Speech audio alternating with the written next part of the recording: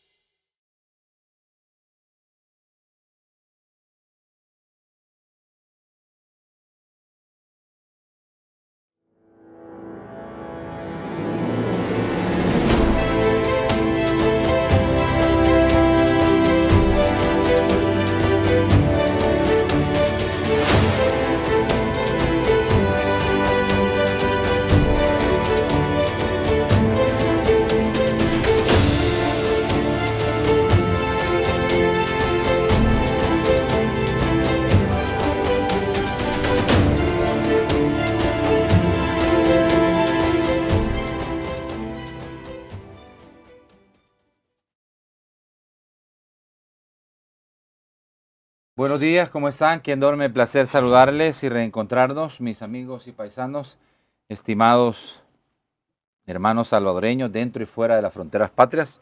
Estamos listos, preparados para poder desarrollar el programa de esta mañana de miércoles 13 de marzo.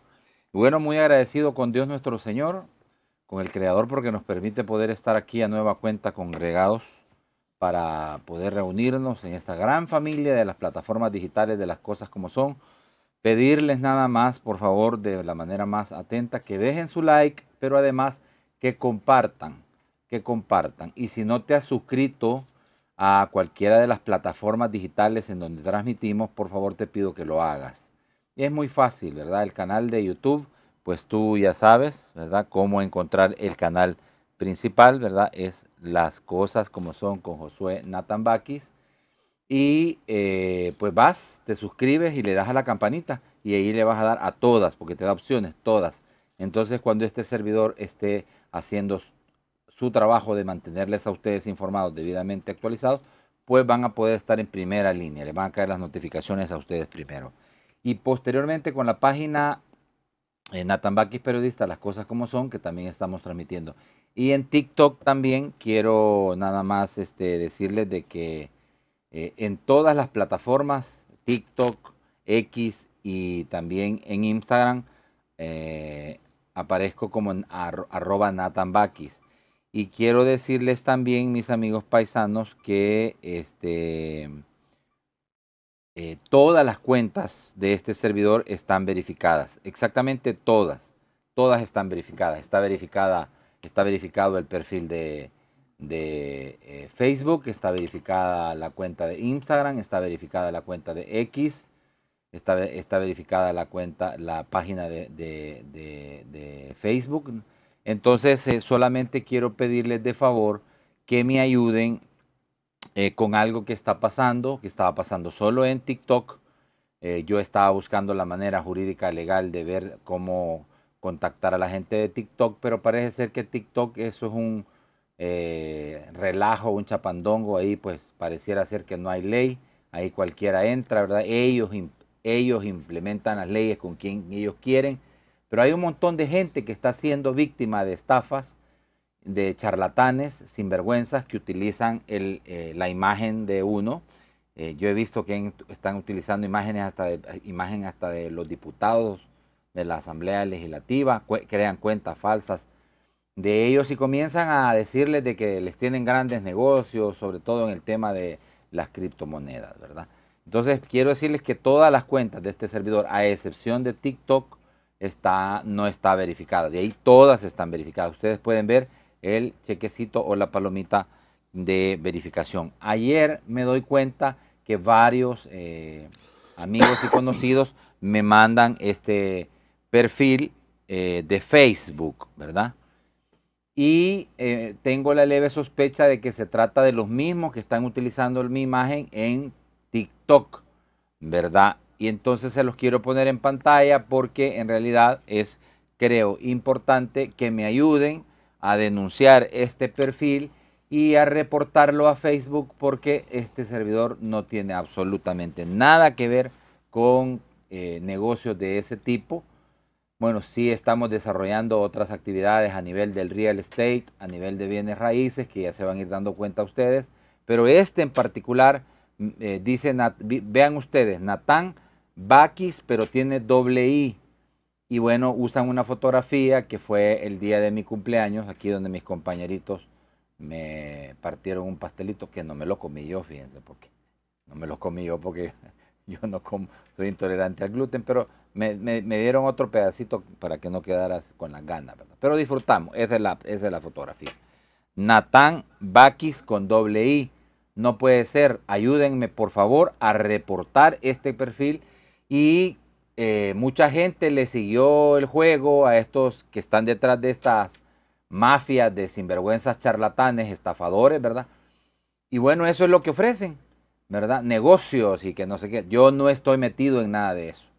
Y es más, ni le recomiendo que se meta en, algo como eso, porque ese mercado tan volátil que como puede usted ganar, evidentemente puede perder, ¿verdad? Es tan volátil y por eso es que yo ni me metería en ese chimbolero, ¿verdad? Eh, entonces, por favor, les pido, vean, vean, eh, esa no es la fotografía que yo estoy usando. Este es un perfil falso, es un perfil que está usando sin mi autorización eh, eh, mi nombre, Natán, ¿verdad? Y en este caso mi apellido, pero le agrega una doble I. Por favor les pido lo reporten y lo denuncien. Eh, yo me comunicaré ahora con la gente de Meta para poder denunciar también este tipo de situaciones que no hemos podido controlar nosotros en, en TikTok por lo menos, ¿verdad? Y de ahí en adelante, pues ustedes saben, todo, todas las cuentas están verificadas a excepción de TikTok, incluyendo Facebook. Entonces, por favor, les pido que nos ayuden. El doctor Julio Valdivieso esta mañana con nosotros, le doy la mejor de la bienvenida, siempre es un gusto recibirlo y por supuesto hacer los análisis referentes a los temas de coyuntura. Hoy tenemos un interés muy particular, que es analizar lo que desde mi punto de vista, doctor, es algo que no se va a poder evitar, que es una reforma profunda a la Constitución. Platicaba con el doctor Arturo Méndez Azahar el viernes pasado y él decía que desde el 85 en adelante, el gobierno es republicano, democrático y representativo, sistema político. El poder emana del pueblo. Los órganos de gobierno ejercerán independientemente dentro de las respectivas atribuciones y competencias que establezcan en esta Constitución y las leyes. Las atribuciones de los órganos de gobierno son indelegables, pero estos colaboran entre sí. De ahí se reconoce el derecho del pueblo a la insurrección. bueno, imagínense usted, desde ahí dice él hasta el 200, o sea, prácticamente es echarnos toda la Constitución, ¿verdad? Entonces, quizás eh, primero bienvenido, ¿verdad?, al programa y gracias por siempre colaborar y siempre ilustrarnos desde su experiencia y formación jurídico-legal eh, de estos grandes temas. Y ahora creo que será una gran plática. Bienvenido, doctor. Gracias, Josué. Un gusto, sobre todo a tus televidentes. Este es un tema apasionado y como yo tuve la oportunidad de ver la entrevista del doctor, eh, además formó parte de la constituyente, ahí estuvo como asesor legal sí, ¿verdad? En, ese momento, o sea, conoce la vivencia, dijéramos, de cuál fue el motivo, la causa. Normalmente cuando uno lee las constituciones, eh, no repara mucho en lo que nosotros le llamamos eh, el preámbulo de la constitución. Um, otro es el exordio, que es la introducción y del por qué se hace. Las constituciones tienen dos partes fundamentales. Uno, la parte dogmática, dijéramos que es que va desde el artículo 1 en mi criterio hasta el 29, y la parte orgánica que es donde desarrolla todos los principios. Creo que Entonces no- sería en dos partes. La, sí, la, la- eh, la- la- la Constitución así está, está establecida. sería la uno, la parte, dijéramos, dogmática, que es donde se establecen los derechos fundamentales, los principios que rigen esa constitución, ¿verdad? Y después viene la parte orgánica, que es la parte donde se desarrolla todo el, el aparataje del Estado, cómo funcionan las facultades y atribuciones de cada uno órgano de Estado, y finalmente tienen lo que es la parte de las reformas derogatorias y las maneras de interpretarse. Entonces, creo que ya llegó el momento, yo sí estoy consciente que las condiciones sociales, económicas y políticas del constituyente del 83, ¿verdad? Se agotaron. Es necesario poner sobre la mesa, sobre la amplia discusión, qué temas debe de, de llevar para discutirse y sobre todo para ponerlos, qué es lo que va a regir una nueva sociedad. Si la constitución es la base Y fundamental. mire, fíjese que es bien curioso porque el doctor Arturo Méndez Azahar fue eh, diputado constituyente y él mismo dice que es momento de destruir, bueno, lo que él, lo que, lo que, vamos a escucharlo para que Sí, vea usted, quiero. porque yo creo que es importante lo que alguien que, que ayudó a construir esa constitución del 83, que, cuyo arquitecto es eh, el mayor Roberto Dabuizón, ¿verdad? Eh, y todo lo que ya sabemos alrededor de todo eso, dice, y por supuesto alguien que estuvo ahí dice, no, es que esto es momento de darle, darle Juan. Escuchemos, por favor. El pueblo ha hablado. Sí, Ya no quiere partidos políticos. ya no quiere partido. Hay que destruirlos. Ahorita, eh, yo digo de que pues ya vamos al mes de marzo, hemos tenido un- una fiesta electoral muy, muy buena, con sus altibajos, pues, pues, que- pero que es característica de todas las cosas que en la naturaleza, en la vida no son perfectas. Pero Natán, este, eh, fue un eh, proceso electoral cansado ese mes Sí. de estar soportando a esta gente que se inventaba que las que las papeletas planchadas, que habían papeletas en los cuarteles, cuando todo, todo, Sí. todo, todo fue mentira. Entonces, pues tenemos derecho a descansar un poquito. Por eso bajó un poquito la votación también municipal. Sí. Entonces, reflexionar en Semana Santa y agarrar con fuerza precisamente a partir de abril, porque hay que destruir el sistema de los partidos políticos, hay que destruir la deuda política, hay que reformar la constitución desde el artículo 85, donde nosotros de buena fe creímos que eso era la alternativa para este, el ejercicio del poder eh, a través de los partidos políticos, pero nos dieron, nos dimos cuenta que son estructuras muy frágiles frente al crimen organizado y no solo del narcotráfico, sino que también este, eh, fueron penetrados y entonces esas estructuras ya no son rescatables y lo malo hay que desecharlo. Hay que destruir el sistema político. Hay que destruir el sistema de partidos políticos. políticos y crear, bueno, tenemos una nueva clase gobernante joven. Y dice usted que, hay, que sabe- hay que reformar los artículos de la Constitución desde el 85. desde el 85 y todo el lo que van 85 es pasando. el que señala de que el único... el único instrumento instrumento, para- para... el ejercicio del poder político son los partidos políticos, porque esa, es- esa expresión, para contar un poquito de historia, quedó de esa manera, porque Natán simple y sencillamente que si, no quisimos que los escuadrones de la muerte ni los guerrilleros a través de las armas pudieran tener acceso al Sí. ejercicio del poder Y político. entonces Hoy eso ya no existe, ya no hay guerrilleros, ya no hay escuadrones de la muerte, ya no hay pandilleros, ya no hay nadie que tenga la capacidad de imponerse violentamente por la fuerza, sino que la única fuerza es el voto popular directo igualitario que ya hoy el pueblo salvadoreño tiene capacidad para ejercer. Mire qué fuerte, doctor. Hay que destruir el sistema de partidos políticos. Hay que destruir la deuda política. Hay que destruir el sistema de partidos políticos porque son frágiles, frá- porque ya nos, porque nos dimos cuenta que son desde el 83 para acá son frágiles al crimen organizado y particularmente al narcotráfico. ¿Qué dice el artículo 85 de la Constitución? Dice que el gobierno es republicano, democrático y representativo. representativo. El sistema político es pluralista y se expresa por medio de los partidos políticos, que son el único instrumento para el ejercicio de la representación del pueblo dentro del gobierno. Las normas, organización y funcionamiento se sujetarán a los principios de la democracia representativa. La existencia de un partido único oficial es incompatible con el sistema democrático y con la forma de gobierno establecida en esta constitución. Pero es lo que quiere la gente. O al menos hacia eso nos ha llevado el pueblo salvadoreño. Vea usted en ese gran huevote de avestruz en el que estamos ahorita. El doctor es fuerte en el planteamiento. Uno dice hay que reformar desde el artículo 85 pero es que ese artículo fue reformado, a pesar, y fue reformado a través de una resolución judicial, cuando se permitieron las candidaturas no partidarias. Porque que en mi criterio desde ahí se empieza a trastocar la constitución.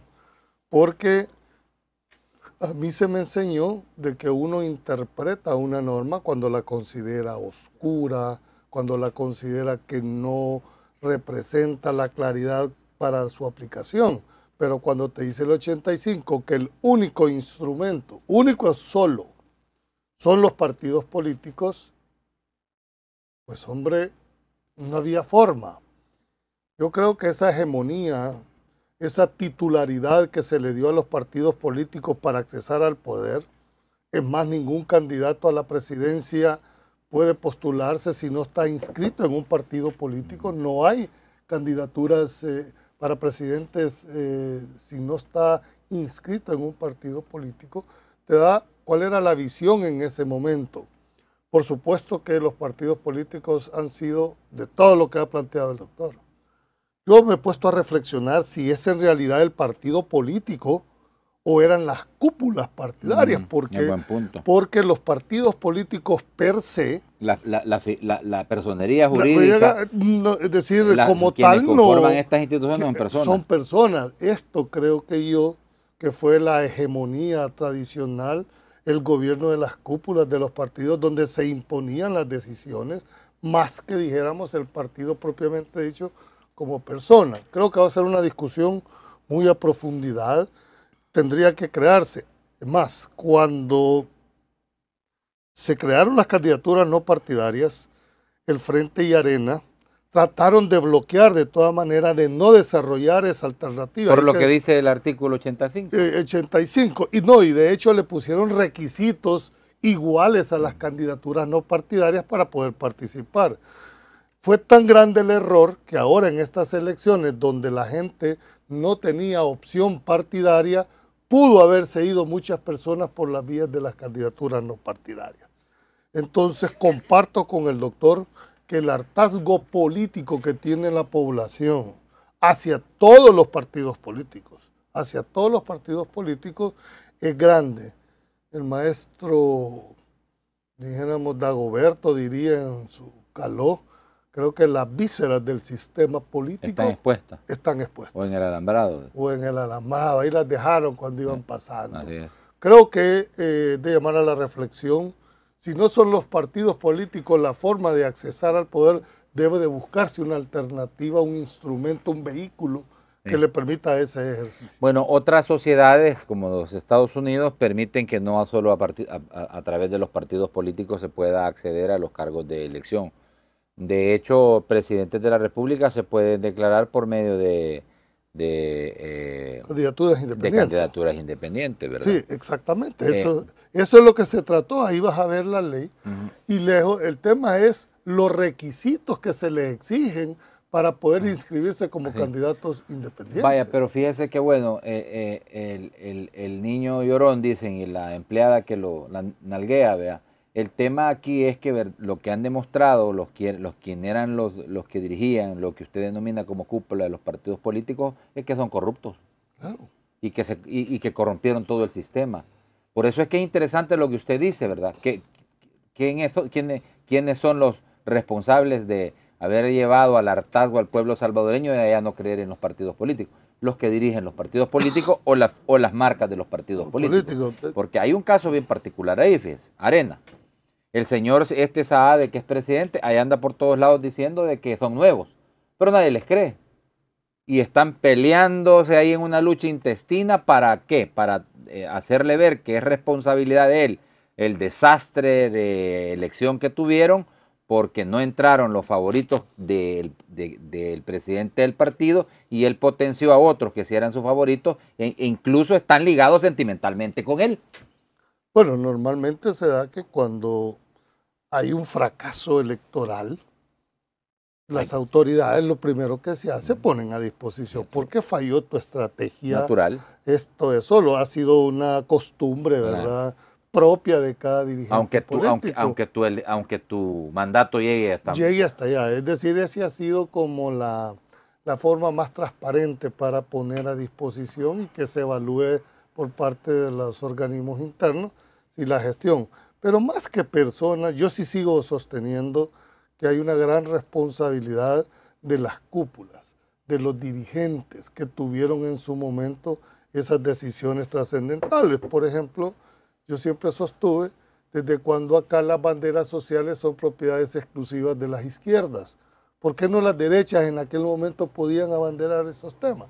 Creo que llegó el momento de que poner sobre la mesa, eh, continuamos bajo el régimen partidario que establece la Constitución, ese privilegio que le da, o efectivamente interpretamos que ya el mensaje de la población dice, busquemos otro mecanismo, otro instrumento para el ejercicio del poder dentro del, Estado.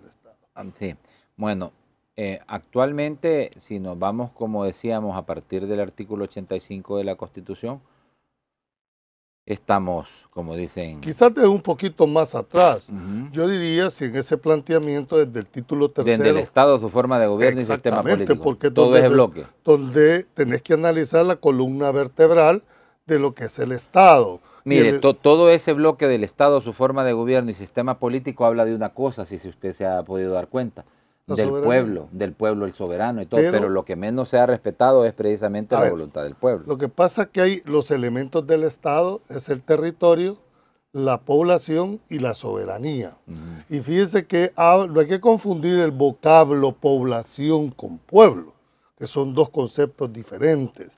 En realidad, la soberanía reside en el pueblo. Es decir, es el que define su organismo que considere.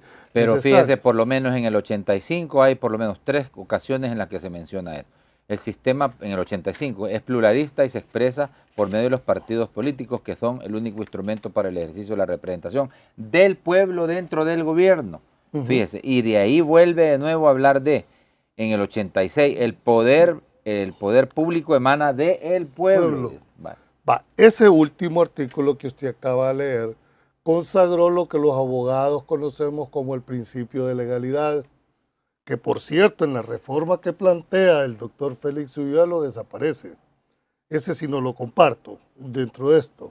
Y no lo comparto por una razón, que los funcionarios son delegados del pueblo y no tienen más facultades que la que expresamente les da la En la parte final del 86. En la parte final del 86, que no mucho les gusta leerlo. Los funcionarios del gobierno son delegados del pueblo y no tienen más facultades que las que, expresa, eh, que las que expresamente les da, la, ley. da la ley. Es decir, todos los funcionarios actuales, todos, de ya sea ejecutivo, legislativo y judicial, tienen esa limitante a diferencia de los particulares, que nosotros los particulares podemos hacer todo lo que la ley no nos prohíbe. Claro. En, el caso de los funcionarios es al revés. Los funcionarios solo pueden actuar si la ley expresamente lo faculta para tal de, hecho. En ese sentido, creo que ese es el amarre, porque no podemos estar sujetos también a porque hoy se levantó el funcionario con determinada eh, eh, presunción y vamos a hacer lo que a mí se me interesa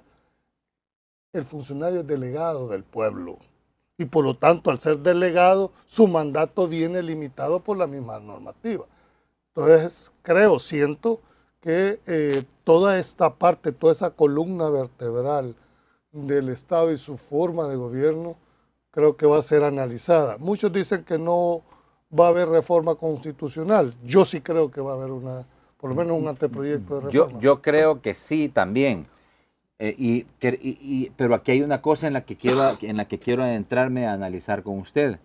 Vaya, creo que lo primero que se va a hacer mm, antes de que termine esta legislatura y seguro que ya eso ya está, ya está en, el, en el horno, ya se está cocinando, ¿verdad? Es el tema del Tribunal Supremo Electoral, porque veo inclusive hasta los magistrados del Tribunal Supremo Electoral interesados en que esto cambie, porque creen y consideran que todos los todos los eh, inconvenientes, todas las situaciones que se registraron el 4 de febrero son resultado de eso, de que las cúpulas políticas partidarias tienen cooptado el sistema eh, de elección popular. Entonces, ah, mañana, por cierto, los invito, está con nosotros el magistrado Guillermo Huelman, pero aquí voy a un tema que me lo planteaba el diputado Cristian Guevara el día de ayer, que es una resolución de la Sala de lo Constitucional que dice que después de una elección no se pueden aprobar reformas constitucionales.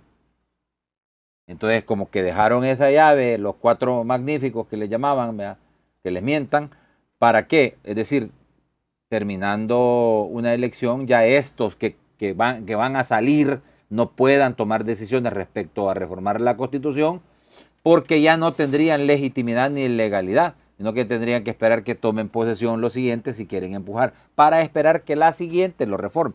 Yo creo que eso no va a pasar, no va a pasar por una sencilla razón. El poder es para ejercerlo, para ejecutarlo, y poder suficiente tiene eh, nuevas ideas. Eh, analicemos, por favor, ese, ese escenario. Es decir, es cierto, pero hay límites del poder. el poder no es absoluto, el poder tiene límites. Y yo te puse el artículo 86. Ahora, lo que tú estás planteando es el meollo.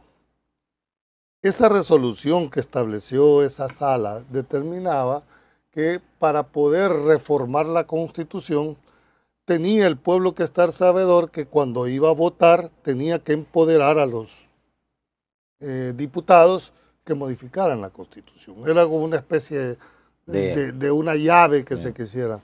Pero eso es eh, una línea jurisprudencial ¿Qué se puede cambiar? Exactamente, eso no está hecho en ese tema. No está escrito en piedra.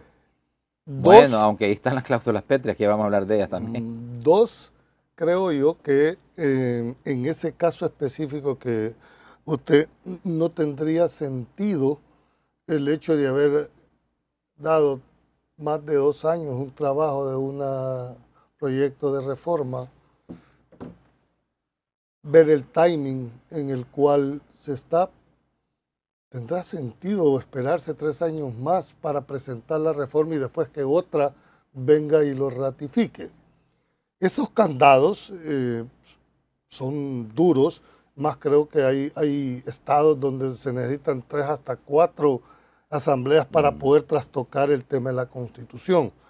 Aquí eh, siento que llegó el momento de empezar a hablar ya del tema y en el que vos te referís específicamente al Tribunal Supremo Electoral, tal y como están las cosas al día de hoy, el presidente del Tribunal Supremo Electoral lo define el partido que ganó la, elección presidencial. El segundo lo define el, que termina en segundo. Y el, tercero. el que termina en Es decir, el mismo régimen partidario que se está cuestionando es el que está determinando quién. Y no importa cuántos votos tenga del primero o del segundo. cinco. Quedó en segundo lugar y, este, y el voto del presidente es tan igualitario como el voto, del magistrado, normal.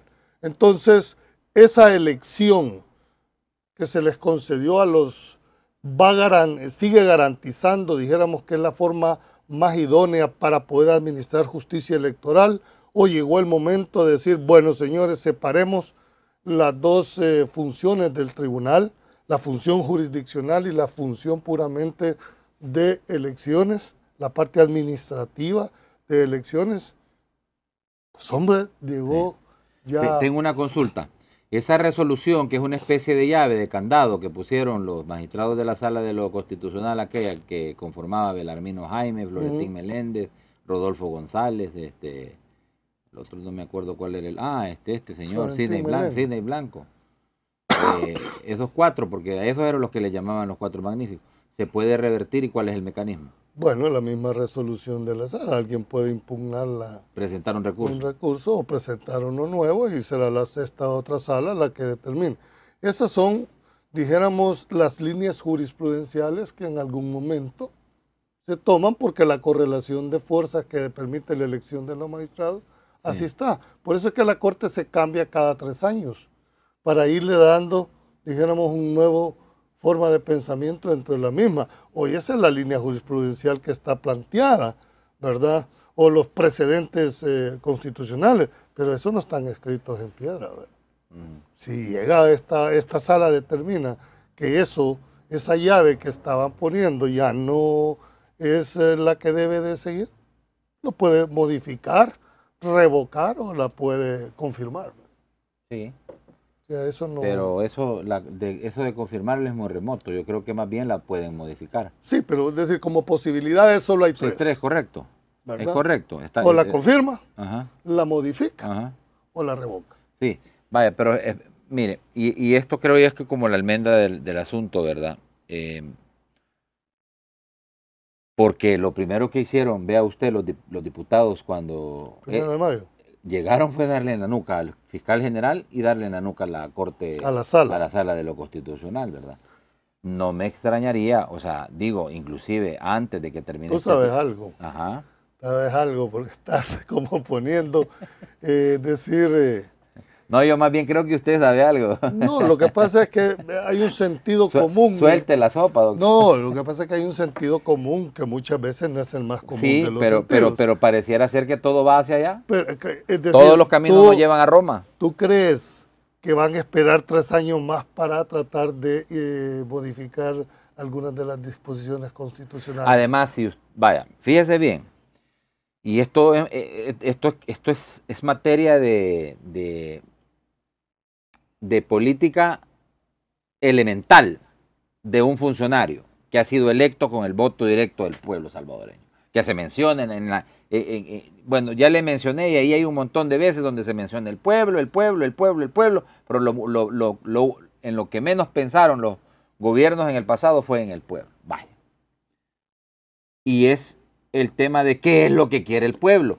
Un, eh, un funcionario electo con el voto popular inteligente escucha al pueblo. El pueblo lo que yo escucho que dice es, cambien esa constitución, terminemos con este montón de partidos políticos, enterrémoslo y busquemos un nuevo sistema, busquemos un nuevo ordenamiento legal, jurídico legal que nos permite evolucionar como sociedad. Y eso yo creo que está bien. Desde el, vos lo decís, desde el punto de vista teórico es valedero. El tema es que mientras este libro esté vigente, no hay forma de quitarle a ese, esa hegemonía a los partidos políticos.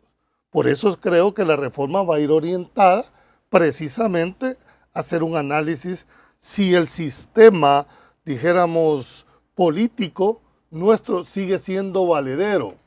Natán, estás hablando de hace más de 30 años esta constitución la gran pregunta que hay que hacerse, ¿sigue respondiendo a la realidad que es la que al final termina imponiéndose en una sociedad?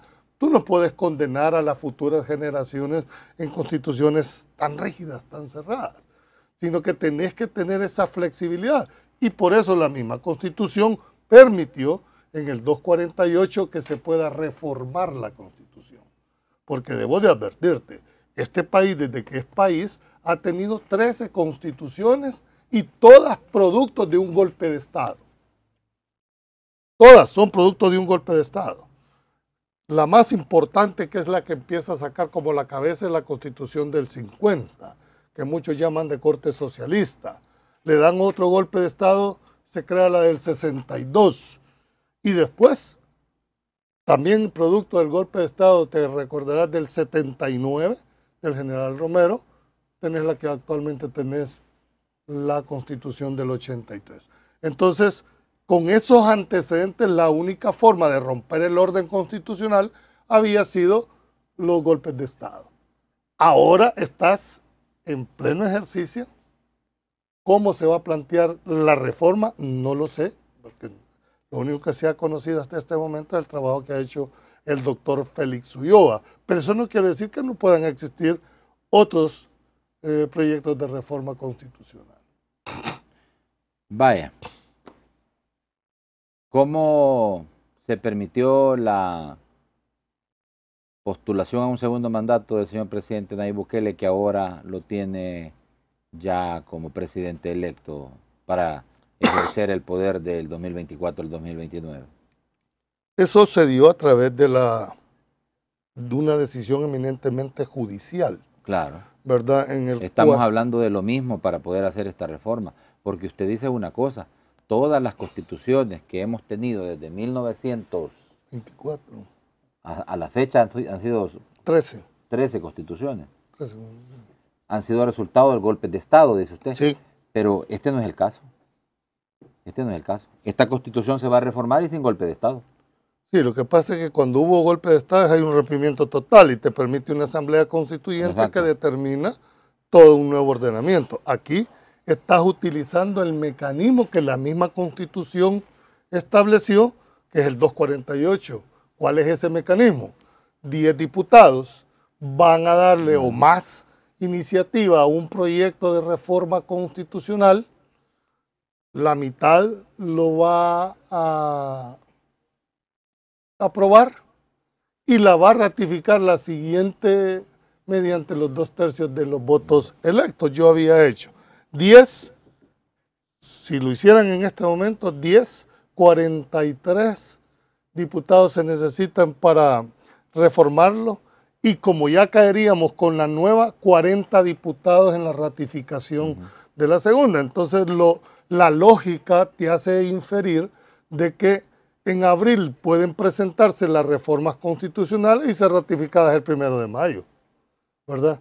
Es decir, como el timing necesario, porque de lo contrario tendrían que esperarse que la nueva eh, Asamblea Legislativa haga la iniciativa, ¿verdad? Y la, la Asamblea del 2027, ¿verdad? Aprobara la reforma, pero no sabes la correlación de fuerzas que va a haber en ese momento. Sí, pero vu- vuelvo, insisto, eh, poder delegado por el pueblo al partido Nuevas Ideas y al presidente de la República hay. Sí, tienen un Y no mandato. me extrañaría que se presente ya próximamente un recurso pidiendo de que se levante ese o atacando ese cerrojo que dice que no pueden después de una elección. Por eso es que les decía el diputado Romeo Auerbach que lo hicieran antes Antes. y así sorteaban eso. Pero creo que eso no les importa a estos diputados porque tienen suficiente fuerza delegada por el pueblo salvadoreño como para presentar el recurso de inconstitucionalidad y pedirle a esta sala, mire, esto que han hecho aquí es ilegal, es inconstitucional, ¿verdad? Analícelo y dé una sentencia alrededor de este tema. Levantado eso, el tan se acabó. El tema es que estás contra reloj, porque eh, el, el proyecto de reforma tiene que ser presentada en esta legislatura. ¿Me explico? No, es decir, el cerrojo lo puedes quitar en la otra legislatura si querés, pero ya perdiste el timing para una ratificación. ¿verdad? Entonces, siento, siento que va a estar haciendo eh, un análisis.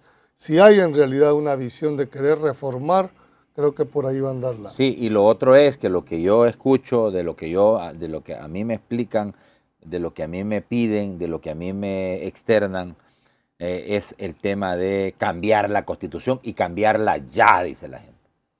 Para quitar, para quitar a los partidos políticos de, de esa, de ese control que tienen sobre el tema de el sistema de, eh, eh, del sistema político electoral, pero particularmente en especial el hecho de que este sistema esté, esté basado en la desconfianza y que tienen que estar zampados en todo. pues. Porque fíjese bien usted, fíjese bien, y mañana yo lo tengo aquí en el programa, al, al doctor eh, Wellman. Él dice claramente que lo que ocurrió el, el- el 4 de febrero es un sabotaje, un boicot que ya lo está analizando la Fiscalía General de la República. ¿verdad? Y yo creo de que algo de razón tendrá, pues porque como de repente usted comienza a, a transmitir todas las actas y, Y se va. y de- repente ya no, ya no, y después se van todos y dejan abandonados ahí el... el- Y- el- el- Y el- menos mal que en el segundo escrutinio Ajá. o en la segunda elección lavaron caras, ¿verdad? Porque no tuvieron el mismo procedimiento. Tú lo ves en, Incluso los mismos partidos no cuestionaron la, situación. No, yo, yo, comparto, creo que en el caso del Tribunal Supremo Electoral, eh, la reforma que plantea el doctor Félix Ulloa habla de elevar, dijéramos, eh, el nombramiento a la Corte Suprema de Justicia y lo mete como una sala electoral dentro de la misma Corte y crea un instituto por aparte que es el que administra las elecciones, pero no resuelve temas de carácter eminentemente jurisdiccional. Entonces, para mí incluso, de darse esa reforma, los magistrados que tienen el nombramiento hasta julio o agosto, creo yo, se podían ir el primero de mayo. Sí, correcto. Si se llega a una reforma de eso, rompen totalmente. Y no esperar hasta julio. No, ¿y cómo? Pues no ya sería, entraría en vigencia la, nueva forma. Sí, pero todo, todo, tiene un proceso de formación de ley, ¿verdad? Sí, correcto. lo, lo, aprobás, el presidente lo, va a tener que sancionar y promulgar, pero, pero es decir, si, yo estoy infiriendo, pues, si no, se está, estamos especulando, pero es una especulación válida. Vale, pero sí es el partido que tiene toda la legitimidad ahorita en la Asamblea Legislativa, presenta un proyecto de reforma, como no lo van a ratificar la nueva, y cómo no va a ser eh, promulgado y sancionado, ¿verdad? Entonces, creo que el, el kit de la cuestión va a estar en los temas, o mejor dicho, en las reformas que se planteen Estoy totalmente de acuerdo en que hay que despartidizar el, Tribunal Supremo Electoral. No se puede ser juez y parte. Decime vos si has visto eh, una sanción, dijéramos, por campaña adelantada, si has eh, visto sanciones, y no es porque el tribunal no lo haya querido hacer, si querés, sino que los procedimientos son tan engorrosos para imponer que al final terminan dando mejor, pagan la multa, pero ya se causaron creo que la forma de elección llegó a su fin en el tema del Tribunal Supremo Electoral. ¿Por qué?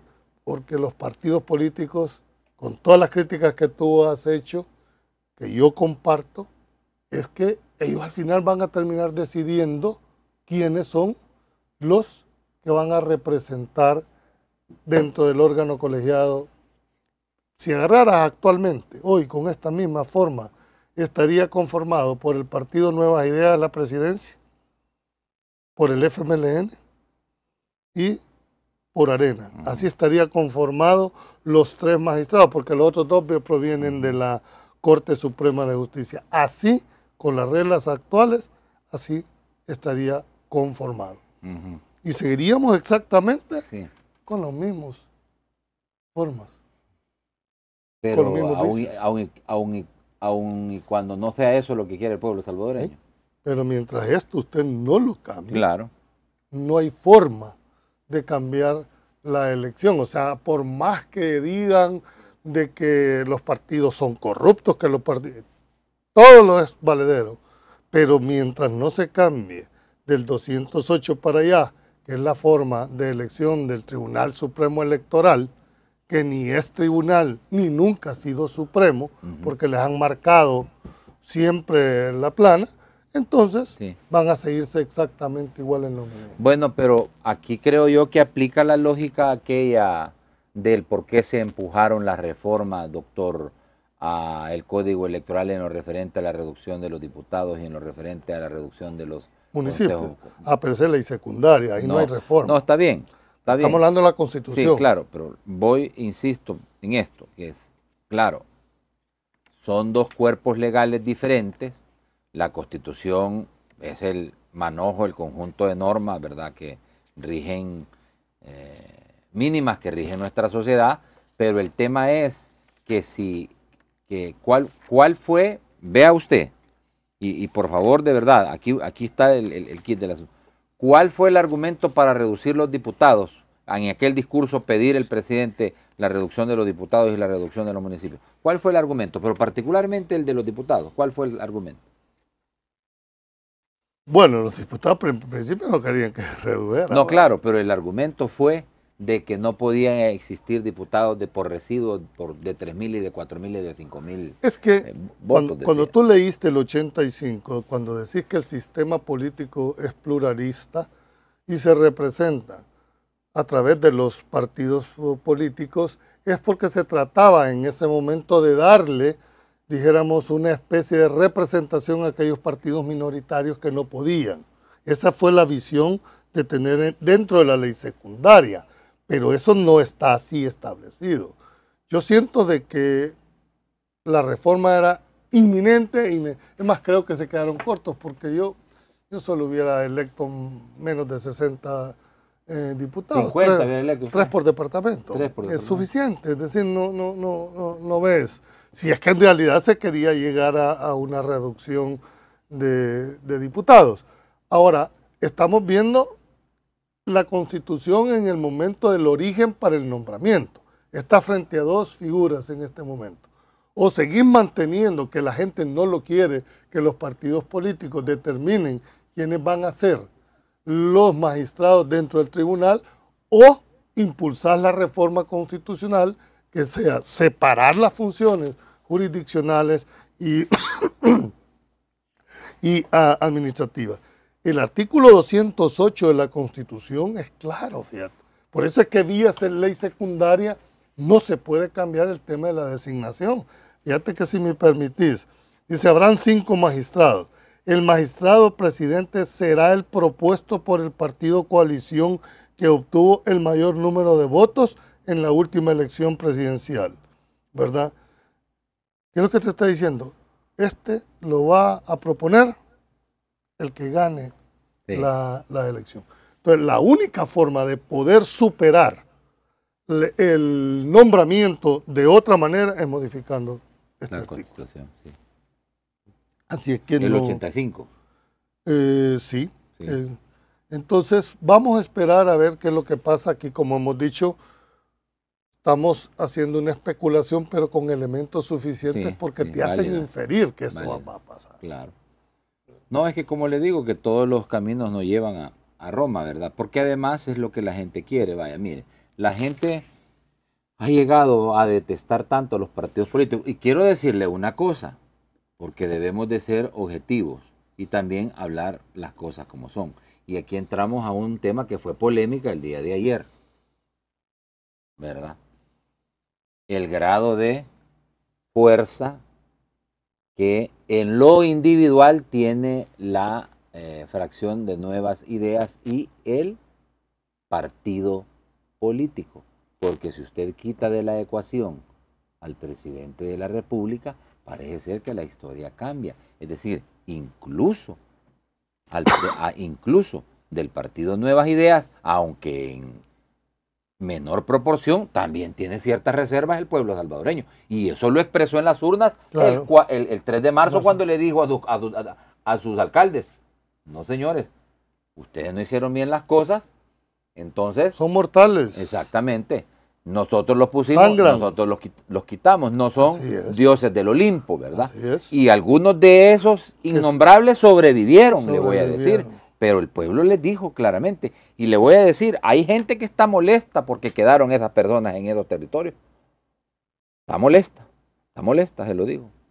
Molesta, que- porque quedaron en determinados Es territorios. correcto. Ah. En algunos con una diferencia de 150 votos Mm, entre uno y otro. Eh, creo que ese, eso último que tú estás planteando es un mensaje muy claro que lo deben de leer entre líneas los actuales eh, alcaldes. Es decir, porque el alcalde tiene ese contacto más directo con la población, es al quien te vas a quejar, al que, al que recurrís. Por eso es que los trataron de esa manera. O sea, ¿cómo te explicas vos perder cabeceras departamentales como Aguachapán, Sí, claro. como Sonsonate, San Miguel San mismo? Miguel mismo. ¿Verdad? Eh, Es decir, esos son mensajes. Y está la otra lectura. Partidos como la democracia cristiana.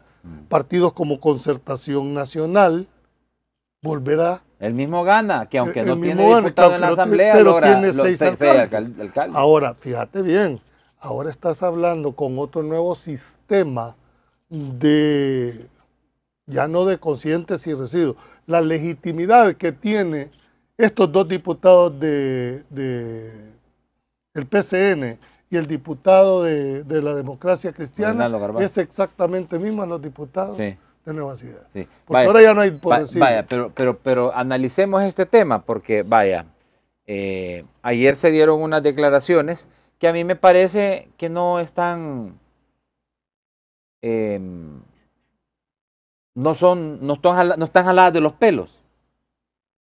Las declaraciones que dio el, el- el- el- el señor eh, ministro de Trabajo. Es que aquí la secundó el, el- el jefe de fracción de Nuevas Ideas. Aquí. Él dijo, él lo dijo. ¿Quiere escucharla? Aquí lo secundó. ¿Sabe lo que dijo él? Palabras más, palabras menos. Es verdad, dijo. No somos nada sin el presidente de la República. Es lo que dijo el señor Rolando Castro. Pero aquí lo dijo don, Bueno, don, don Cristian Guevara. Escuche. Sí, así es. Es que Nayib Bukele ya ni siquiera es referencia nacional. Nayib Bukele. No, pero está claro, creo no, yo. sí está clarísimo. Que nosotros, lo- la bancada CIAN no es el diputado, no es el presidente Nayib Bukele. Está clarísimo eso. ¿Me entendés? O sea, aquí no nos andamos haciendo conjeturas ni a traer analistas prestigiosos como Carlos Araujo para llegar a ese, an- a ese tipo de análisis. Aquí tenemos claro que la figura del presidente Nayib Bukele está muy por encima de cualquiera de nosotros, pero cuando te digo muy por encima, ya años luz, ¿verdad? Sí. Y incluso como proyecto de bancada, CIAN, la gente también tiene claro que nos tiene que apoyar de manera de que así, digamos, salgan los, los- los proyectos del presidente Nayib O sea, que Bukele. el pre- o sea que la gente le da 54 diputados de 60 a nuevas ideas porque quieren que ustedes continúen apoyando al presidente Bukele. Así es.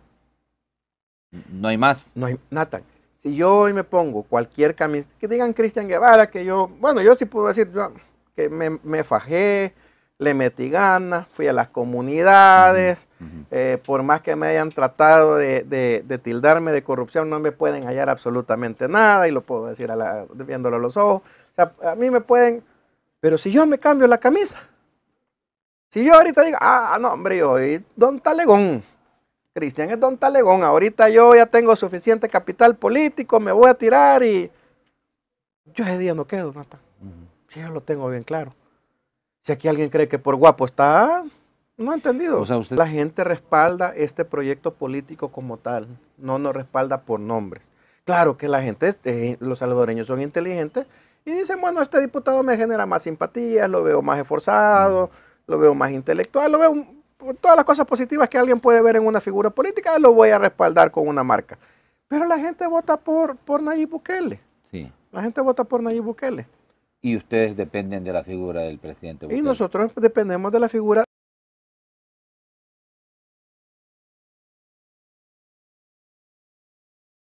Dice Lucy Dueñas, "Eh, él no es Rolando Castro, Natán. Sí, no es Rolando Castro, pero lo que dijo don Rolando Castro es lo que está fecundando él. ¿Sí o no? Es correcto.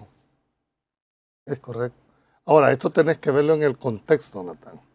O sea, no puedes desatender que hay una figura hegemónica que es el presidente de la República, Exacto. que es el que dijéramos tradicionalmente hay gente, banderas de partidos políticos que van jalando o chineando a los Sí. candidatos. En este caso, el presidente El que va- empuja ah, va a esto. Y creo que fue un error de los alcaldes confiarse de eso. Separar las elecciones de presidentes, diputados y alcaldes. Presidenciales era lógico, no tenía rival, tenía una aceptación de más del 80%, era predecible lo que iba a pasar. En los diputados, el mensaje político cuál fue? Voten por la N. ¿Por qué? Porque esto le va a permitir al presidente gobernar sobre todo cuando lo comparás con anterior legislatura, la del 2019, donde a cada momento se interpelaban ministros, se mandaban a llamar y mandaron un mensaje equivocado en mi criterio. ¿Por qué? Porque la población dijo no. Lo que necesita este presidente es gobernabilidad. Y por eso le da esa cantidad de diputados Sí, en el pe- 2000. pero además acuérdese que el presidente pide que le den los diputados Correcto. suficientes. ¿verdad? Y se lo dan. Y se lo dan. Pero ahora, pero yo lo dije y se lo dije a ustedes, no solo se lo dije a usted, se lo dije a don Walter, se lo dije al maestro Galea, se lo dije a Juan Contreras. no les llama la atención que para los alcaldes no esté, no sé, el presidente no esté interviniendo ni pidiendo el voto. Yo se los dije. Ah, no, que no sé qué, que no sé cuándo. No, el ¿cómo presidente después lo ratificó y dijo en un tuit, ¿se dan cuenta de lo que pasó? Dijo. Y por eso no... Eh, a ver, el presidente es un hombre, el, el- hombre más informado de este país es el presidente de la Pero República. mire, si lo que estaba pasando en los municipios no necesitaba de la inteligencia del Estado, hombre. O sea, Eso se sabía, se percibía. Claro, Entonces, hábilmente el presidente no se mete. no se mete porque digo, si, si esto va mal, me van a pasar la factura a mí, Claro. que lo tengo. Van a decir, yo lo respaldé, yo Claro. lo respaldé y usted es el Y responsable. mira, mira algunos alcaldes que tenían. ¿Cuál era la propuesta programática? ¿Viste tú alguna vez una propuesta progra- pro- programática aquí en tu programa de todos los alcaldes?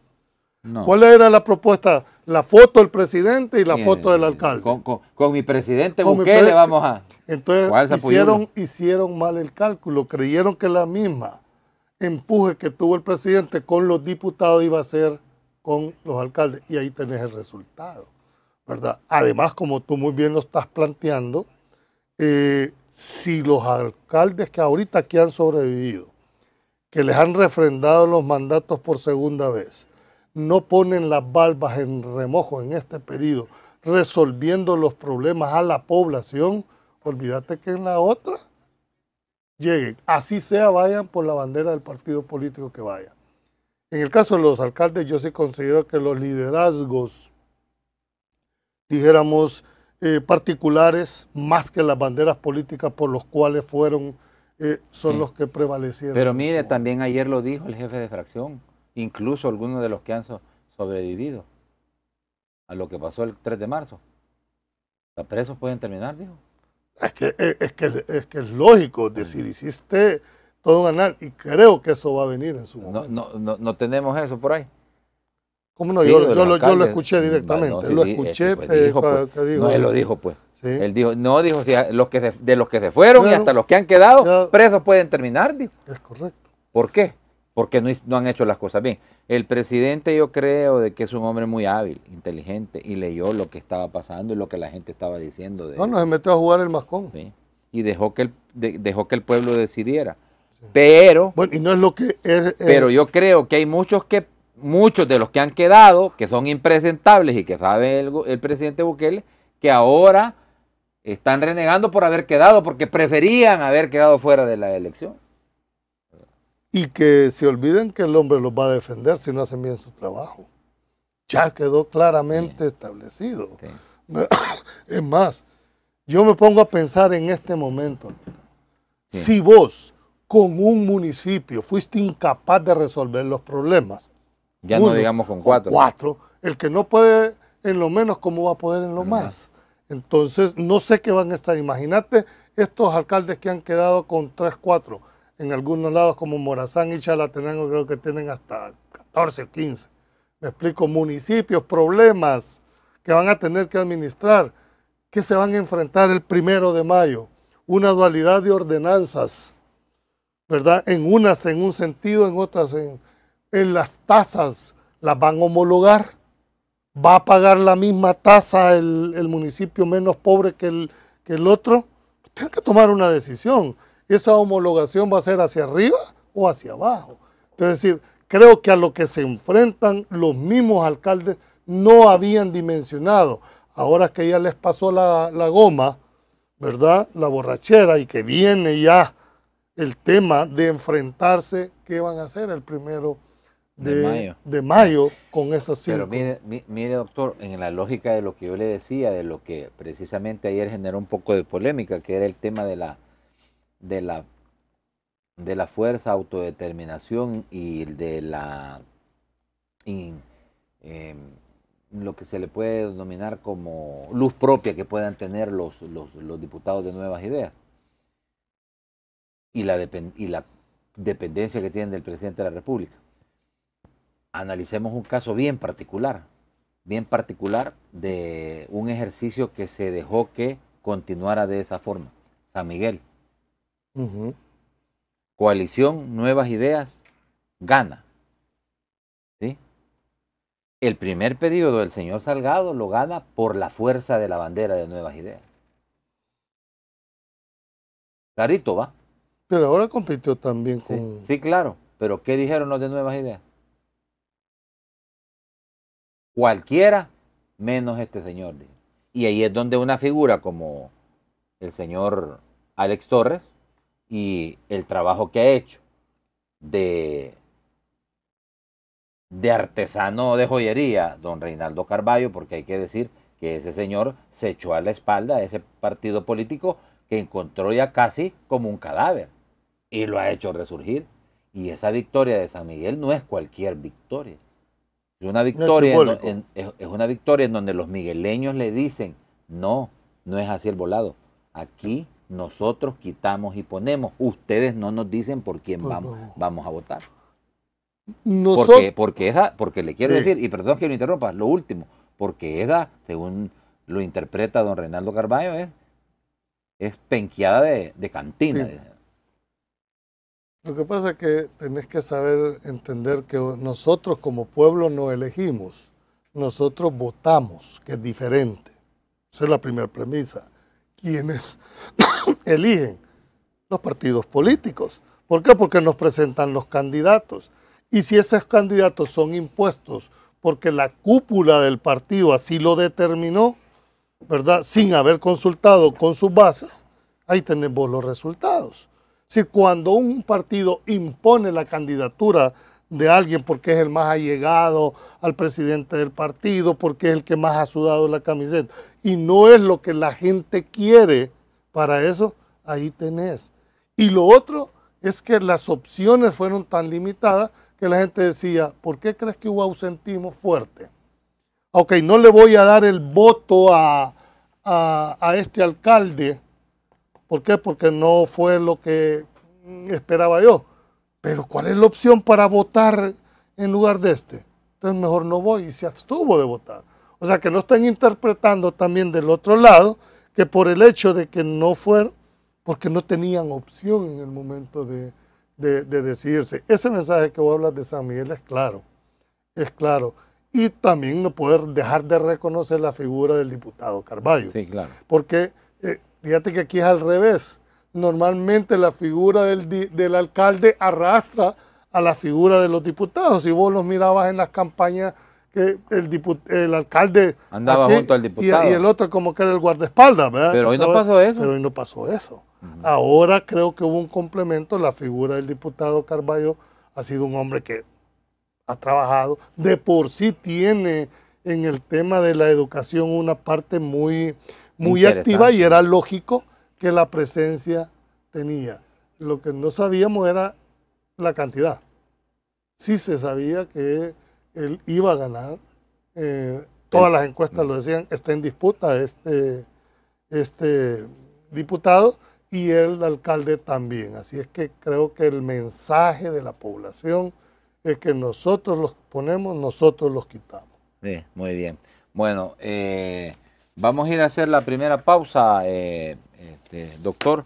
Nos quedan algunos temas, algunos elementos en, dispersos en el aire que debemos de aterrizar. Claro está, eh, en definitiva, lo que, eh, lo que también hemos recogido son algunas preguntas que se las voy a trasladar al doctor Julio Valdivieso y que ustedes la están haciendo y estamos revisando, por supuesto, todo lo que ustedes aquí nos están dejando. Por favor, no cambien la sintonía porque vamos a aterrizar estos grandes temas respecto a la posibilidad real de que se haga una reforma constitucional en lo referente al eh, tema de el, el régimen de partidos eh, políticos, el régimen de elección popular y eh, lo que tiene que ver con, aquí lo tenía, eh, la constitución de la República en lo concerniente a el tema de... eh,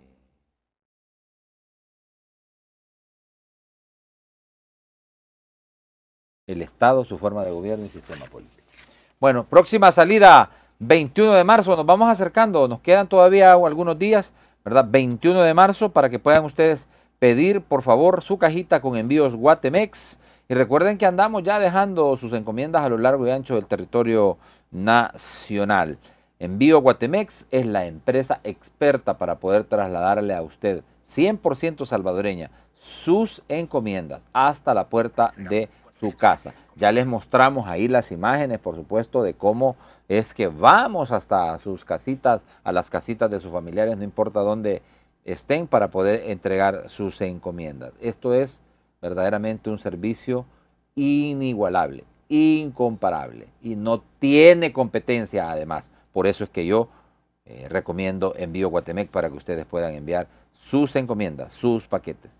Ya saben, 786-216-9013 y la próxima salida el 21 de marzo. Mis amigos, si están en la Bahía de San Francisco, California, no se les olvide ir a comer a la Santa Neca de la Mission, ¿verdad? Comida Salvamec preparada en el momento en la calle Mission, cerca de la 24. Y bueno, con tus impuestos sin taxes, decláralos con Sunset Travel y también te ayuda a obtener tu número ITIN. Puedes comprar con ellos también tus boletos económicos de avión. Haz tu cita para que no tenga que esperar y te atiendan personalizadamente. Ahí están los números de teléfono en pantalla de Sunset Travel, atendiendo a toda la comunidad latina en eh, Los Ángeles, California. Y bueno, regresa seguro el programa de seguro especial para nuestros hermanos salvadoreños en el exterior que desde, eh, desde que puedes desde asegurar bienes y raíz, bienes y, personas en El Salvador. Puedes asegurar tu propiedad, tu casa, vehículos familiares, desde donde te encuentres, incluso puedes adquirir un seguro de vida donde te encuentres y proteger a los tuyos sin imputar tu estatus migratorio. Pregunta también por el eh, seguro asistencia Salvador del Mundo. Esta es una firma que está eh, trabajando desde hace 44 años y ahí está el número de teléfono en pantalla para que ustedes puedan de alguna manera contactarle. Ya regresamos, no nos cambien.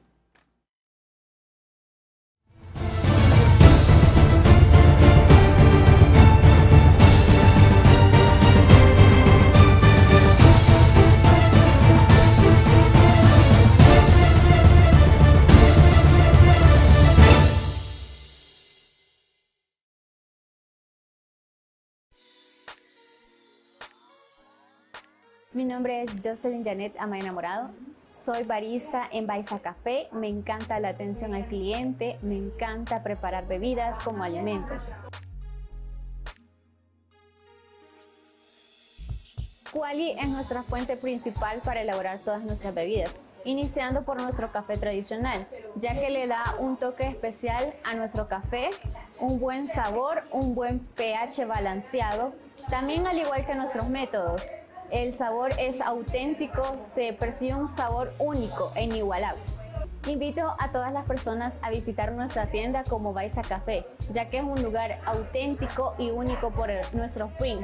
¿Están buscando algo hecho en El Salvador? Pueden venir aquí. Junto a Quali estamos inspirados por naturaleza.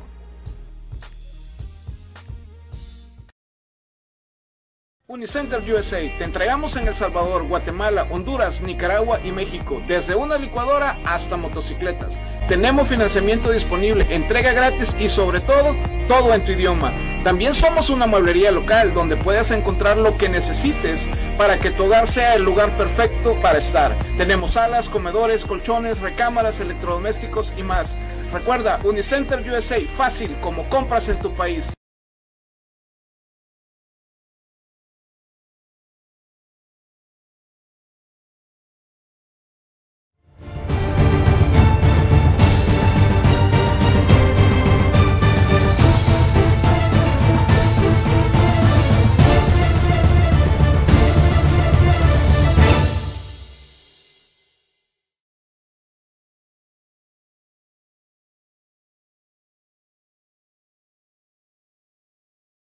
Bueno, ¿qué esperas para poder eh, agendar tu cita con Luke Dental Clinic ahora que vienes a vacacionar en Semana Santa a tu querido país, El Salvador, donde te esperamos con los brazos abiertos en el país de la hermosa sonrisa? Tú debes de ir a hacer brillar tu sonrisa en este verano con un blanqueamiento dental del 20% con Luke Dental Clinic y próximamente, próximamente los servicios de Luke Dental Clinic, los maravillosos servicios de Luke Dental Clinic más cerca de ti. Espera más información en los próximos días. Ya sabes, cualquier tratamiento relacionado con el tema de tu necesidad médica odontológica, pues te ayudan. 79449703 con los doctores José Giovanni Hernández Torres y la doctora Stephanie Net Flores Hernández. Ya saben que ahorita están en la lista plaza, carretera Acajutla, costado sur del IS, local hay un 3 Sonsonate, pero próximamente, próximamente más cerca de ti. Espera más información aquí en las cosas como son plataformas digitales, mis amigos y paisanos. Bueno, ya saben, ¿verdad? También ustedes que Unicenter Mueblería y Expo, la mueblería con ese increíble inventario de salas, comedores, recámara, electrónica, línea blanca en general, que también usted puede aprovechar para comprarle a Unicenter Mueblería y Expo y mandarle a su familiar aquí a El Salvador desde una licuadora y todo lo que usted quiera comprar con Unicenter Mueblería y Expo. También mis amigos ya saben que no solo atienden a eh, nuestros hermanos salvadoreños, también atienden a toda Centroamérica, Honduras, Nicaragua, Guatemala, México y bueno, envían también muebles a todos los Estados Unidos. ¿Dónde están las dos sucursales de Unicenter Mueblería y Expo? Están en el 5632 del Bel Air Boulevard, Houston, Texas 77081 y en el 102 de West Somerville Avenue, Pasadena. Fácil financiamiento, no revisan crédito y sobre todo fácil como comprar en tu país. Invierte tus incontaxes ahora que te van a devolver pistillo, ¿verdad? El gobierno de los Estados Unidos, pues en la renovación total de tus muebles, ¿verdad? Mis amigos y paisanos. Bueno, eh,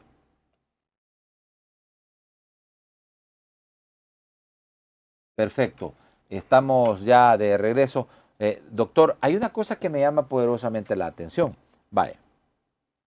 Es cierto que existe ese, ese impedimento jurídico legal que dejaron los magistrados aquellos denominados, porque me lo dijo ayer a mí el, lo saben porque me lo dijo ayer el jefe de fracción, es decir, que desde mi punto de vista han analizado la posibilidad de cambiar esta situación, o sea, de esta manera de elegir.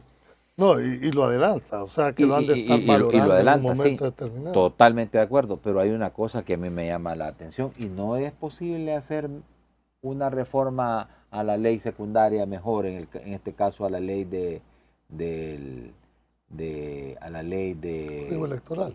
el código electoral para, que, para indicar que los 13 magistrados del que conformen el Tribunal Supremo Electoral serán a propuesta del partido político que termine en primer lugar. Ese es más fácil. Lo que pasa es que existe eh, un candado constitucional y es que el principio de supremacía constitucional no permite hacer lo que tú estás planteando creo que es el 246, si no me equivoco, de la Constitución, que ésta prevalece sobre las leyes, sobre los reglamentos y cualquier otro de interés. Por lo tanto, si vía ley secundaria trataran de decir lo que tú planteas, no tendría aplicabilidad porque la Constitución está por encima. ¿Qué sí puede hacerse vía ley secundaria? La forma de votación. Eso sí la pueden regular y decir, en lugar de que se necesiten cuatro votos para tomar eh, una decisión, la pueden bajar a tres, a una mayoría simple.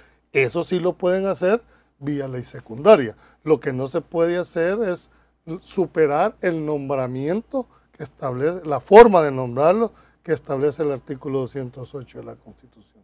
No operaría. Estoy hablando jurídicamente. Sí, claro, claro. Claro, pero como como usted mismo sabe y entiende, ¿verdad? Este, también así se pensó cuando el 1 de mayo quitaron al fiscal y quitaron a la sala de lo constitucional. Bueno, pero lo que pasa es que ahí la aplicación que tuvieron en ese momento, aplicaron la constitución de manera directa, ¿verdad? Nosotros lo nombramos, nosotros lo quitamos. Pero, por supuesto, esa es mi interpretación, ¿verdad? De que eh, la supremacía constitucional no la puede superar bajo ningún concepto una ley secundaria. Por eso es importante la reforma. Tú puedes hacer lo que querrás siempre y cuando tendrás la legalidad de tu lado. O sea, si alguien cree que vía ley secundaria pueden sobrepasar el tema que tú estás planteando, No hay forma, por lo menos desde el punto de vista legal. Vale, pero expliquemos. ¿Por qué no es posible reformar el código electoral para que la gente lo entienda?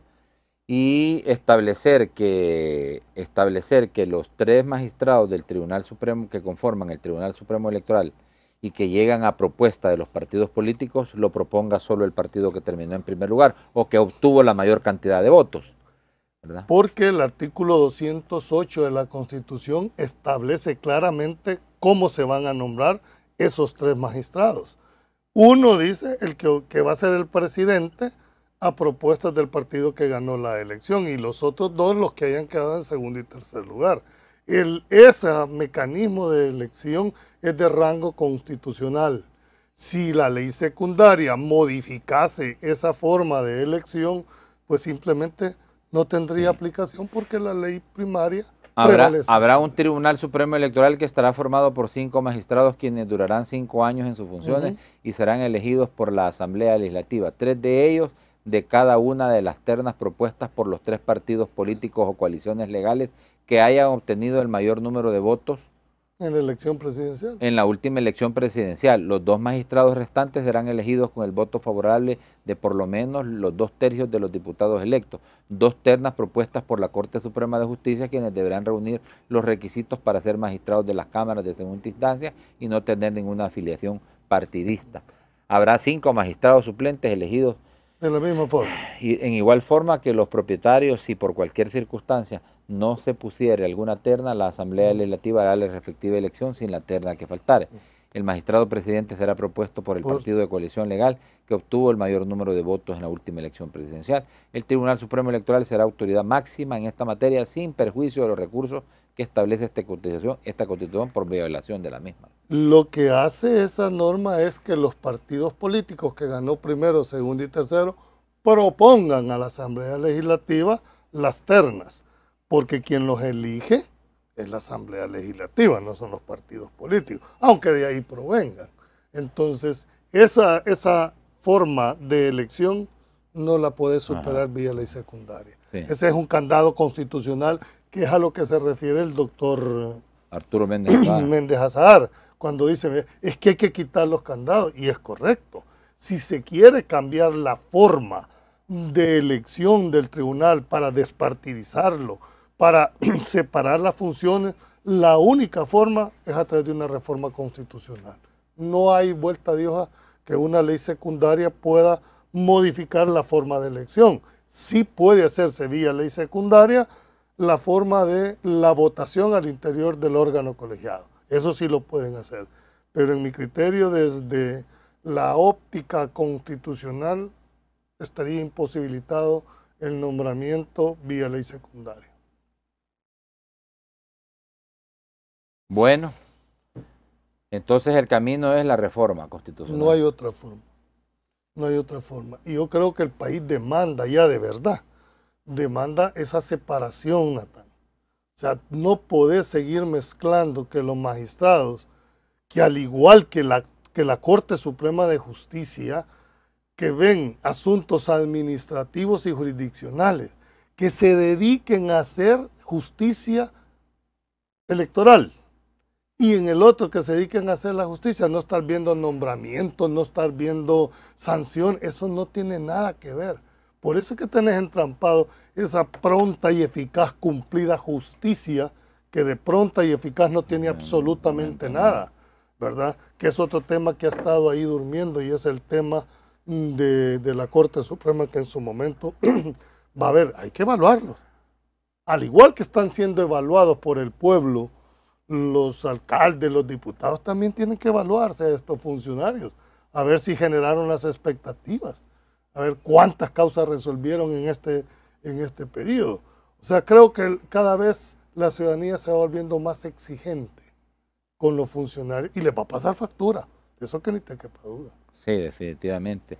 Bueno, entonces, eh, en, en conclusión, para poder empujar esta reforma eh, constitucional en lo referente al tema de, el tipo de gobierno y todo lo que a su alrededor establece, eh, doctor, no hay otra salida más que eh,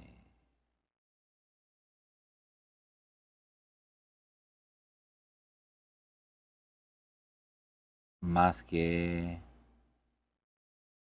La vía. en el, te- tema del Estado, su forma de gobierno, el sistema político, más que la vía de la reforma constitucional y el impedimento a, a- el impedimento a sortear o a quitar es el tema de esa resolución que dice de que una que no un- después de una elección ya no se pueden hacer ningún tipo de reforma. Ningún tipo de error. Pero eso no está en la Constitución. Claro.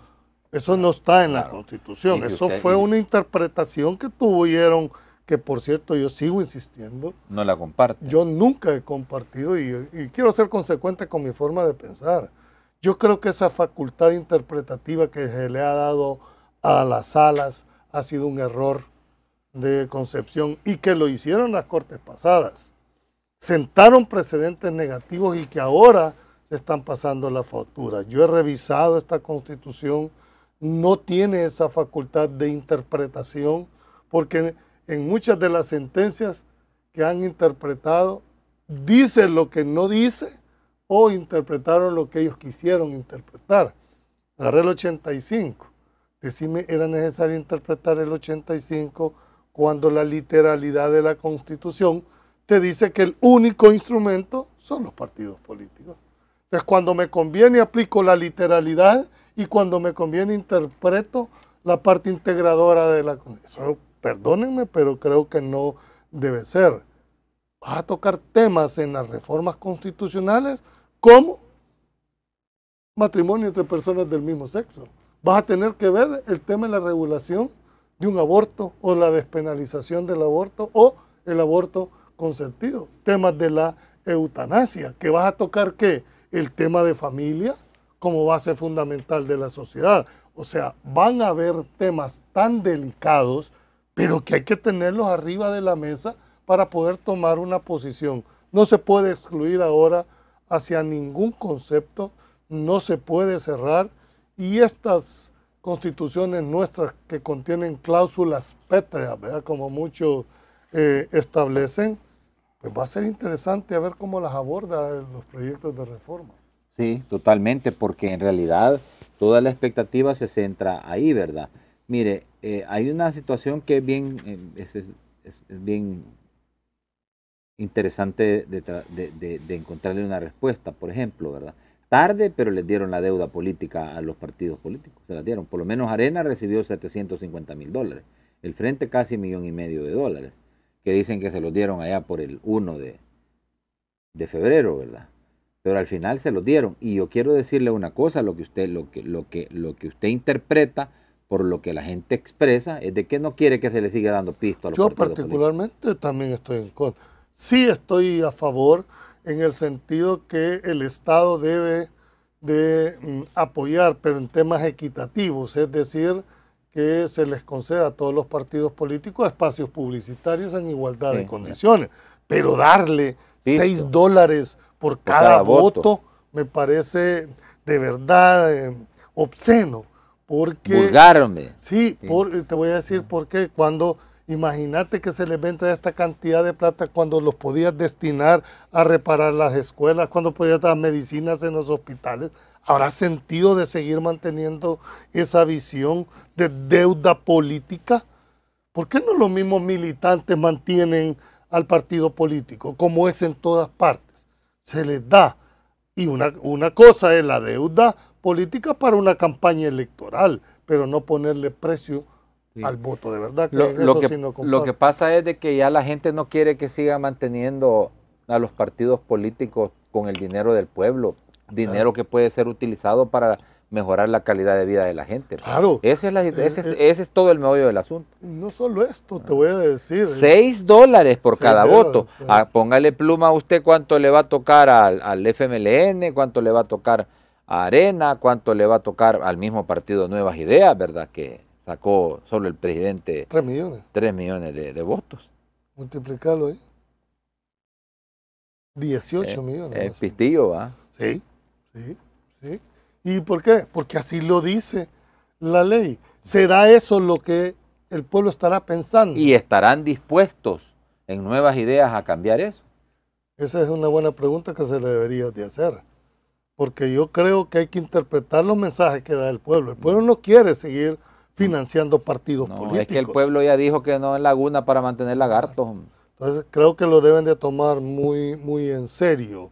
Pero veremos si hay voluntad política. No, es que mire, si reforma. la hay de en definitiva y el mensaje es que no vamos a seguir sangrando al pueblo salvadoreño, que no vamos a seguir de parásitos del pueblo salvadoreño, ¿verdad? Porque el partido político que conecte con el pueblo no necesita de pisto.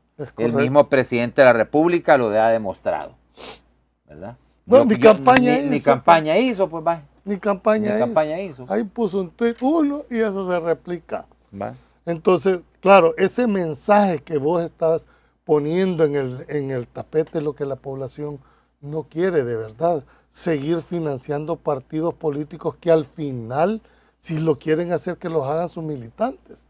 Porque hay un error de concepto de querer creer que el gobierno les está dando la deuda política. La está dando usted que me está viendo eh, a través de, de- de tu canal. Es decir, el gobierno no es dueño del dinero, el dueño del dinero es el pueblo. Por lo tanto, cuando alguien le da, alguien paga la factura. Y la factura la va a pagar el pueblo a través de los impuestos. El problema es que a quien le toca ahora mismo enfrentar esa exigencia que tiene el pueblo salvadoreño es al partido que tiene la mayor cantidad de diputados. diputados. Ahí verás la voluntad política o no de cambiar las cosas. Usted, por ejemplo, no está de acuerdo en Yo que no estoy de acuerdo. Eh, no estoy de acuerdo en una deuda política de pagar un voto. Si Sí, de, sí de darles equitativamente Equitativa y que sea el la Tribunal Supremo Electoral el, que pague esos El espacios. que pague los espacios y que fuera equitativo para todos los partidos. Sí, políticos. como lo hacen otros Como países como hacen en Chile, otros ¿verdad? países como Chile, Costa Rica, México, México, incluso, sí. hace que exactamente no le da pisto a los partidos, No le da que- pisto al partido, pero sí les asegura que su campaña electoral Sí. va a ser equitativa en los medios de comunicación. Totalmente Por supuesto que en eso estamos de acuerdo, Ajá. Pero no en seguir darle 6 dólares por cada voto. Bueno, mire que ahí en Arenas están, se, de- se están dando duro por los 750 mil dólares. Así dicen. Y es más, también creo que en el frente les ha dejado, si te vas con los 200 mil dólares, eh, 200 más, mil votos. eh, sí, votos, 200.000 más los, eh, los votos de alcalde. Todo se suma. Todo. Eh, tienen, tienen valor diferente. El, Tiene, Sí. precio tiene precio, vale, vale de, de manera diferenciada el voto del alcalde, el diputado. Pero vaya. ¿cuánto sacó? Tenemos ahí esa lámina porque fíjate que es interesante hacer eso de cuánto les va a tocar, ¿verdad? Porque ya les adelantaron. El tema es que este es un adelanto de la deuda política. Sí, pero han de ver Muchos no hacen uso de la deuda porque tienen que garantizar el adelanto a través de una fianza. Y para pagar la Y fianza. pues sí, pero además de eso, ¿qué tal si no sacas la cantidad de votos sobre la, el No, si había un, si había un problema, si había un problema, si aquí lo dijo, creo, no sé dónde lo dijo eh, Manuel Chino Flores, creo que lo dijo, de que, de que, de que no les querían dar en ninguna Aseguradora. aseguradora Pues la, sí, es, la que, fianza. es que el riesgo es muy alto. Es decir, cuando alguien te va a dar una fianza, mide los Pero riesgos. pongámosle que fueron casi 300 mil votos que sacó solo en la elección de, de presidente el, el FMLN, ¿verdad? 300 mil. Por 6 mil. No, por- creo que sí. no, fueron menos. Ahí está, ¿ve? ¿Cuántos? eh? 204 mil votos. 204 mil. Creo que 605 es la... Mañana le puedes preguntar al magistrado cuánto vale cada voto. Mañana le voy a preguntar, ¿sí? 204 mil por 6 dólares que vale cada dólares. voto. Serían...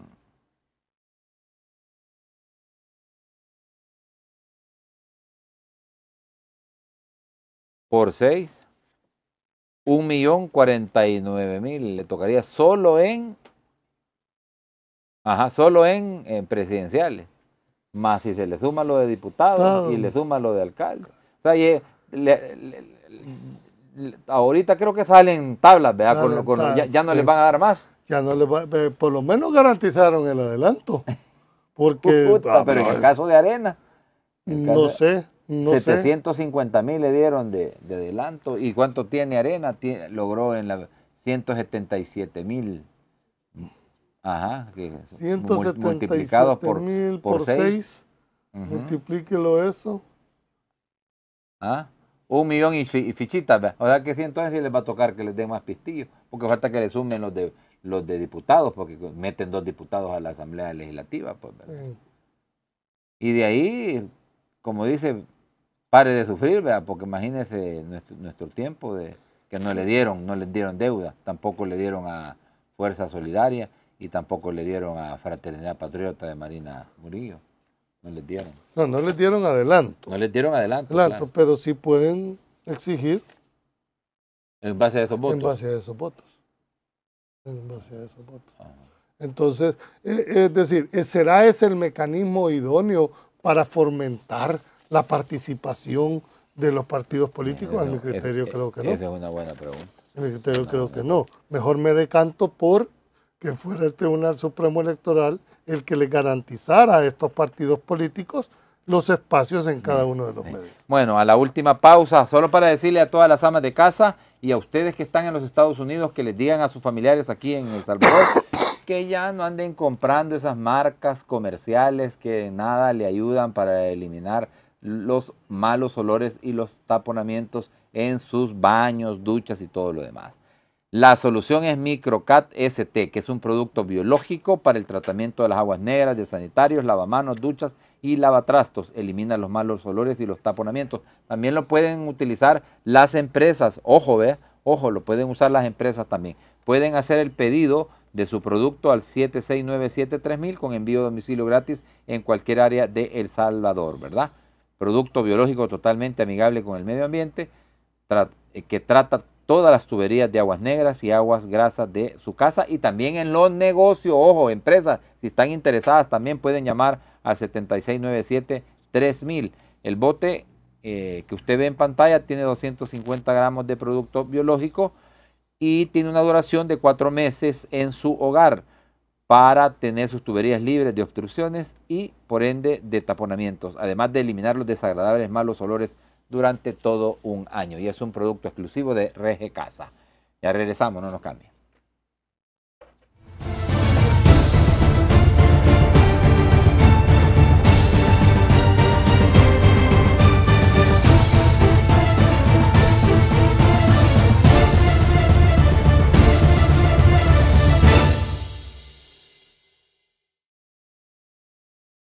¿Eres salvadoreño y vives en Estados Unidos? Seguramente has necesitado en algún momento un trámite legal dentro de El Salvador. Somos la Expertise, una firma legal con la suficiente experiencia para acompañarte en tus procesos legales como donaciones o compraventa de inmuebles, divorcios por mutuo consentimiento o por separación por uno más años, poderes, permisos de salida del país de menores o para emisión de pasaportes, testamentos, rectificaciones de partida de nacimiento, escrituras de identidad, juicios pendientes, levantamiento de restricciones migratorias, partición de inmuebles, entre otros. Recuerda, somos la Expertise, tu firma legal en El Salvador de confianza.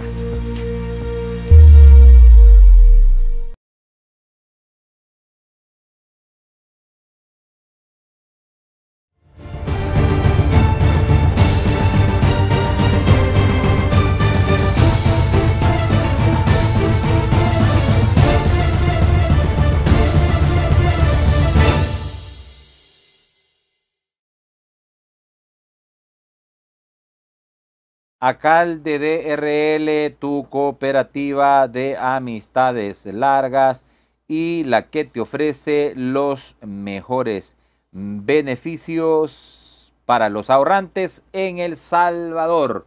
Ya no sigas soñando, cumple tus sueños y el de tu familia con el guardadito de Acal.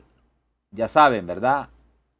A usted que le envíe esa remesa familiar a su familiar, dígale que con 100 dolaritos de esos 300 que le manda mensuales, 100 dolaritos puede abrir su guardadito en Acalde DRL. Ya pueden contactar al WhatsApp 6200-8069 o visitarles en la primera calle Poniente Barrio, el Centro Puerto de la Libertad y muy pronto en San Salvador.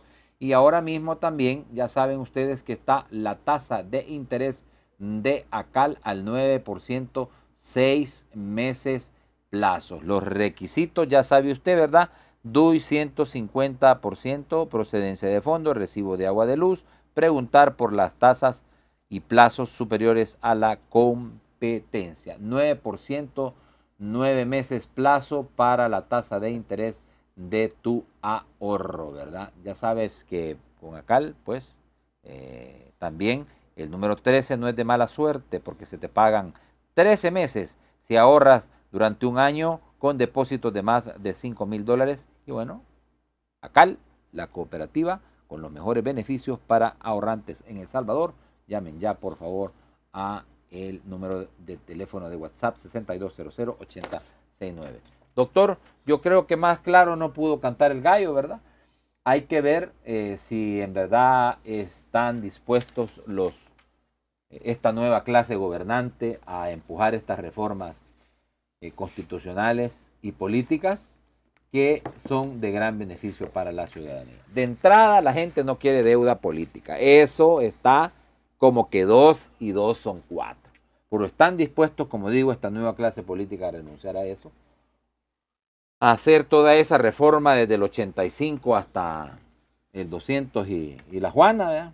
que va pues dentro de eso toda la manera de la financiación y toda la forma, ¿verdad? Es una gran pregunta que todavía queda sin respuesta, doctor. Todavía queda sin respuesta hasta que no tengamos sobre la mesa si en realidad se va a materializar ese deseo que tiene la población de un verdadero cambio. Mañana vamos a platicar con el magistrado Guillermo Huelman, ¿verdad? Don Guillermo Huelman, que creo junto a Noel Orellana fue el único que dio la cara respecto a todos los inconvenientes y dificultades que se dieran. Y yo creo que don Guillermo ya va, ya va también un poco cansado también de, todo Es que no es fácil, ¿verdad? Estar en ese tipo de puestos, sobre todo cinco años, ¿verdad? Y esto les ha tocado tres elecciones. Todo eso no quiere, golpea. creo que sería interesante que le preguntes a él que desde el punto de vista, él es actual magistrado, si estaría dispuesto cómo, miran ellos el cambio de elección eh, del organismo. Herbert Arevalo, pregúntele a don Julio dónde termina el poder de la constitución y comienza el poder del pueblo. Es de las preguntas más filosóficas, ¿verdad? La soberanía, el poder reside en el pueblo, pero ¿qué es el pueblo? No pueden ir todos a, a reunirse. Por eso es que se delega en representantes ese poder para que lo ejerciten. Me explico, nosotros tenemos una soberanía representativa. ¿Me explico? No tenemos democracia directa. Tú elegís un diputado para que éste haga las reformas, para que haga los nombramientos. Estás delegando en ellos. Entonces, el límite es la constitución. ¿A través de qué? De sus representantes. Y es lo que dice Abel Alfaro, si no quitan la deuda política, entonces exigimos 6 dólares la hora para todos los trabajadores. Bueno, mire cómo le están diciendo. Es que te parece injusto decirle, darles 6 dólares a los partidos políticos y el trabajador no gana ni siquiera 2 dólares la hora. Ahí está. Entonces ahí es donde entras vos a esa valoración, ¿verdad? Creo que si el objetivo de la Constitución era ayudarle a los partidos políticos para que tuvieran un arranque, pues está bien, pero a través de la campaña electoral en los medios de comunicación, pero no para financiarte a ti de manera directa tu administración. Sí, porque si estamos hablando de esa herencia perversa, de esa estructura que se creó. ¿La vas a cambiar o no la vas a cambiar? O la vas a dejar así. o va a ser la misma película con actor diferente. Porque te conviene. Esas son las valoraciones. Otra, otra pregunta de Walter Tamaca. Doctor, ¿por qué, ¿por qué no hacen una verificación anual de los vehículos eh, para evitar que eh, estén, circulando? Dice. la ley lo contempla. La ley contempla las revisiones técnicas vehiculares. en el caso del transporte colectivo son dos veces por año. El problema es que ha tenido más reformas que el que postergar, al igual que el seguro obligatorio, pues pasaron casi 20 años y nunca se pudo implementar el seguro obligatorio. Igual con esa pregunta que hace él. Si eso se estuviese cumpliendo, que, es que la ley lo estipula, ¿verdad? Que se llaman revisiones técnicas vehiculares para garantizar, bueno, si aquí, Natán, entran vehículos descartado de los Estados No, Unidos. hombre. ¿Ah? Y les Aquí dan de, do- de- de- de dos hacen uno. De dos hacen uno. Ajá, y el que lo compra cree que está comprando Algo bueno. algo bueno. ¿Qué debería hacer? Prohibirse la entrada de ese tipo de vehículos. Totalmente. Pero hay voluntad de querer hacerlo, es la gran cosa. pregunta. Muy bien, gracias doctor por la plática y por la compañía. Será hasta cuando las circunstancias lo requieran. Siempre le agradezco la colaboración a la Gracias, Natán, y un saludo a toda tu audiencia, que es muchísima en este Nos vamos, hoy vamos a tener consulta médica con el doctor. La adelantamos porque, miren, se va de viaje, así que vamos a tener un tema muy interesante. Dos de la tarde en la poderosa YSKL, las cosas como son radio. Así que, y a las 5 de la tarde, por supuesto, como siempre, y todos los días. Está, está fuerte, está fuerte la cosa en Arena, ¿verdad? Acaba de decir en una entrevista el presidente de Arena, el, señor Saade, que se aferra a la presidencia, que él no va a renunciar por caprichos de unos cuantos, unos pocos. Están cuidando los 750 mil bolitas que le han dado y que parece ser les puede, con- les puede significar más dinero, así como está la ley ahorita, por la cantidad de votos que han sacado, ¿verdad?